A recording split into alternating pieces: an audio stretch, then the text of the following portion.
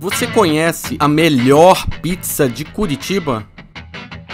Batino Pizzaria. Eu venho sempre. Mal chegamos e o Marcos já pediu sua pizza preferida, de mignon à milanesa. O Ubi estava em dúvida e eu sugeri para ele pizza de mignon com creme de mostarda de Dijon. Então chegaram as pizzas e esse é o momento. Sente o cheirinho. Dijon, Parmê, Mignon Fung. Na verdade, todas as pizzas aqui do Batino são fantásticas. Nossa, essa pizza parece suculenta.